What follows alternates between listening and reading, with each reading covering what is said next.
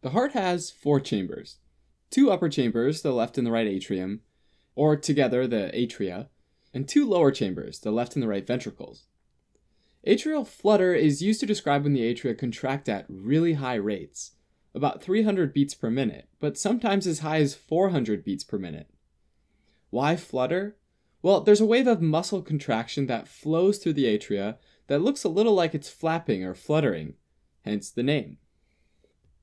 Normally, an electrical signal is sent out from the sinus node in the right atrium. It then propagates out through both atria super fast, causing the atria to contract. Usually, that signal moves in one direction, from the atria to the ventricles, through the AV node. It then moves down to the ventricles and causes them to contract shortly after. After each ventricular contraction, the ventricle has to wait for another signal from the sinus node. With atrial flutter, a reentrant rhythm starts in either the right or the left atrium. Reentrant signals loop back on themselves, overriding the sinus node and setting up an endless cycle that causes the atria to contract again and again and again at really fast rates. There are actually two types. Type 1, or typical atrial flutter, is more common and is caused by a single reentrant circuit that moves around the annulus, or the ring of the tricuspid valve, of the right atrium usually in a counterclockwise direction when viewed looking up through the tricuspid valve. Okay, so imagine that you're this eyeball looking up through the valve. You'll see the superior vena cava, or SVC, the inferior vena cava, or IVC, and the coronary sinus, or CS. In this case, a stretch of tissue along the pathway called the cavo-tricuspid isthmus propagates the signal more slowly than the surrounding tissue. Tissue that was just activated can't be activated again until a certain amount of time has passed, which is called the refractory period. So that slow propagation through the isthmus gives the tissue enough time to be out of refractory, and therefore the circuit can loop back on itself. Type 2, or atypical atrial flutter, is where a reentrant circuit develops in either the right or the left atrium, but the exact location is less clearly defined. Again, though, we've got a similar setup where a wave of activated tissue, or depolarization, hits a bit of tissue in such a way that it creates a loop of depolarization that keeps going around and around. Alright, since everyone has a cavo-tricuspid isthmus, but not everyone has atrial flutter, there must be something else at play here that causes a reentrant circuit. In most cases, there's some underlying disease, like ischemia, that makes the heart cells more irritable which can change some of their properties, like the refractory period, making it more likely reentrant circuits develop. In addition, usually the circuit is initiated by a premature atrial contraction, or PAC, which is an electrical impulse that's sent out early in the atrium, before you'd normally expect one. The exact cause of PACs generally isn't known, and they can even happen in otherwise healthy people. So let's just say tissue A has a short refractory period and tissue B has a longer refractory period. If a PAC is timed just right, one tissue might depolarize and one might not. And this can propagate an abnormal wave of depolarization, which can go through the atria and initiate a reentrant circuit.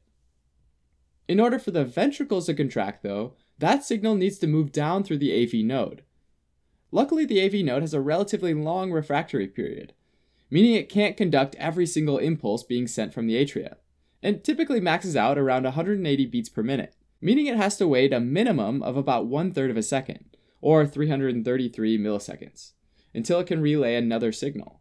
So if the atrial rate's higher than 180 beats per minute, you'll end up only getting a ratio of atrial beats to ventricular beats, like 2 to 1 or 3 to 1 in this case. That might make a little more sense if we look at an ECG. Okay, so first I'll show the atrial signals, or P waves. Tons of P waves let's say 350 per minute. Since they're coming in from a reentrant circuit, they'll often take on this sawtooth shape. Starting with this guy, it goes to the ventricles and contracts the ventricles, causing this QRS complex. If the cells in the AV node need to wait about 330 milliseconds, the next atrial contraction, which happens in about 170 milliseconds, won't be able to conduct to the ventricles. The next atrial event after that, though, lands at about 340 milliseconds from the first one, which means that the AV node's out of refractory and ready to go. So it conducts this one. In this example, therefore, we've got a 2 to 1 atrial to ventricular rate, because for every two atrial contractions, only one of them will lead to a ventricular contraction.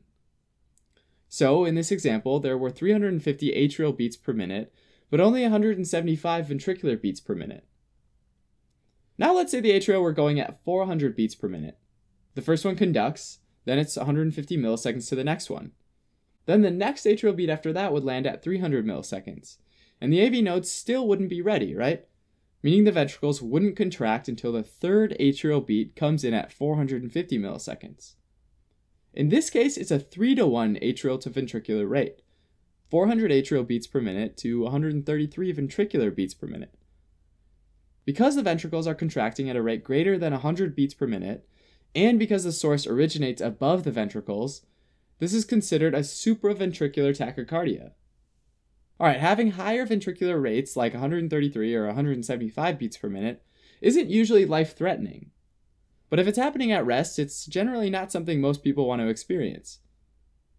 If somebody has an underlying condition where they aren't able to physically tolerate high ventricular rates like this, they might feel symptoms like shortness of breath, chest pain, dizziness, and nausea. Over time, from prolonged episodes of tachycardia, the ventricles can tire out and decompensate, and people can develop heart failure. Also, since the atria aren't contracting very effectively, blood tends to stagnate or pool in the atrium.